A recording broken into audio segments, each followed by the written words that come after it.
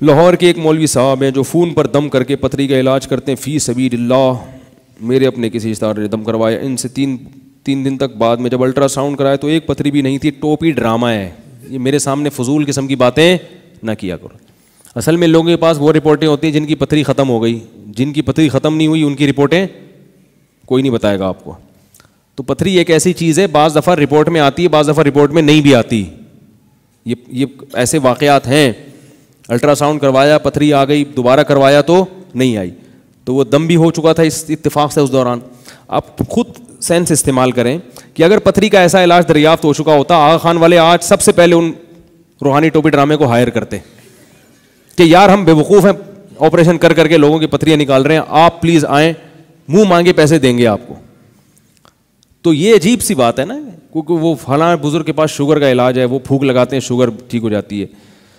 तो भाई अगर ऐसा है, एक हमारे इलाके में पहले जहाँ मैं रहा करता था, एक साहब आए, वो चीनी पे दम करके देते थे और शुगर ठीक हो जाती थी। चीनी पे शुगर। और फिर वो केला खिलाते थे, एक केला। उसके बाद ज़िंदगी भर केला नहीं खाना। ऐसे ड्रामेबाजियाँ होती हैं, ताकि लगे मरीज़ को कि कुछ हो रहा है। तो वो शुगर नहीं, सॉरी, दमे दमे का इलाज करते थे। पैदाइशी दमा होगा तो एक केला खिलाऊँगा और ये और बस। वो जा रहे हैं, भाई शिफा मिल रही है। कुछ भी नहीं हो रहा था। होता यह है कि किसी एक आदमी की रिपोर्ट आ जाती है कि वो दमा ख़त्म हो गया, वो साथ साथ ये बड़े होशियार होते, कहते हैं, इलाज भी जारी रखें आप। तो सौ में एक आदमी तो वैसे ही ठीक होता ही हो अल्लाह की कुदरत से। तो वो फिर अपने खाते में डाल लेते हैं, फिर रश लग जाता है। जब एक दफ़ा रश लग गया ना कहीं, अब उस रश को भगाना, मैं इस पर एक छोटा सा बस बात सुना के बयान ख़त्म करता हूँ, फिर बाकी सवाल हो गए ना पूरे सवाल? तो आज बयान भी थोड़ा शॉर्ट हुआ है ताकि सवाल की पर्चियाँ निमट गई हमारी। हम जब स्कूल में पढ़ते थे, बहुत सारे तजर्बे हमने स्कूलों में किए हैं। बड़ी मज़े की ज़िंदगी होती है स्कूल की, बहुत याद आता है स्कूल की जो ज़िंदगी है ना। तो स्कूल में ये होता था कि, ड्रामे ये होता था कि कोई लड़का क्या करता था, आके खड़ा हो जाता था। ऐसे कोई रस्सी फेंकी हुई जैसे सांप है ये। मरा हुआ सांप अगर बच्चे को नज़र आ जाए ना, वो तो ऐसे भागते हैं जैसे पता नहीं क्या देख लिया। तो वो होती रस्सी थी। अब चार पाँच शरारत करते थे कि भाई, देखी कि रस्सी है तो चार पाँच और आ गए, उनको देखा, देखी चार पाँच और आ गए। अब जब थोड़ा सा जब मजमा लगा ना तो सबको पता चल गया है कुछ भी नहीं। तो अब उन्होंने सोचा कि हमें जब बेवकूफ़ बनाया तो हम भी पिछले वालों को बेवकूफ़ बनाया। तो अरे, अबे, ये बशधा अबे, इतना बड़ा सांप, अबे, ये। अब क्या है कि वो जो पहले वाले थे, वो तो निकल लेते थे। और बाद में फिर मजमा शुरू। पब्लिक आ रही है, आ रही है। इतना बड़ा मजमा, अब लोगों को इससे गरज नहीं कि है क्या आप? लोग भाई, कुछ तो है ना जब इतने लोग हैं। कुछ तो है ना। ये जो नए नए होटल खोलते हैं ना, तीन दिन तक फ्री खाना क्यों खिलाते हैं? एक दफ़ा रश तो लगे। रश लग गया, फिर खाना अच्छा हो, बुरा हो। एक दफ़ा दुकान चल पड़ी शोहरत हो जाती। वो एक छोटी सी बड़ी मज़े की बात है, आपको सुनाता हूँ। एक दफ़ा ये हुआ कि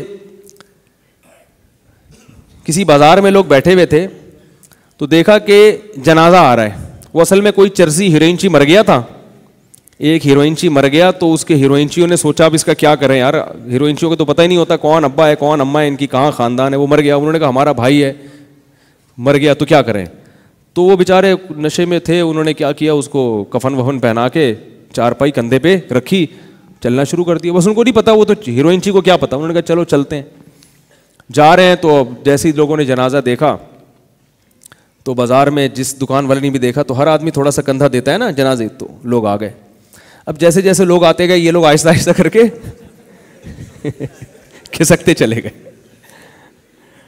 किसी को क्या पता कि पहले कौन था और बाद में कौन।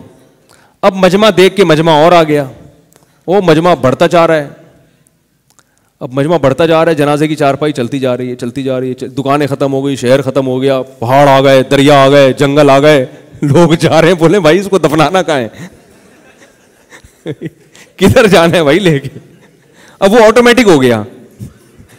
तो जैसे वो जनाजा ऑटोमेटिक हो गया था ना, खुदकार तरीके से चलता चला जा रहा है। वो चर्सी, वो अपने बैठे हुए वहाँ सुट्टे लगा रहे बोले, हमारी टेंशन खत्म। तो ऐसे ही ये जो रूहानी टोपी ड्रामे होते हैं, इनकी दुकान चलने की देर होती है। उसने शुगर का इलाज कर दिया, उसने गुर्दे से पथरी खींच के निकाल दी, उसने ये कर दिया, उसने फलाने की शादी करा दी बे औलाद के बच्चा पैदा हो गया है ऐसा यूँ किया। एक दफ़ा दुकान चल जाए, फिर आप इनके खिलाफ दलाइल की अंबार लगा दो। पब्लिक कहती, एक दफ़ा ट्राई करने में जा क्या रहा है। बट ट्राई ट्राई के चक्कर में इनकी दुकानें चल रही होती। तो इसलिए ऐसा होता है, इस लोगों से मुतासर ना हुआ करें। सुबहान अल्लाह अभी हम दिगा नशद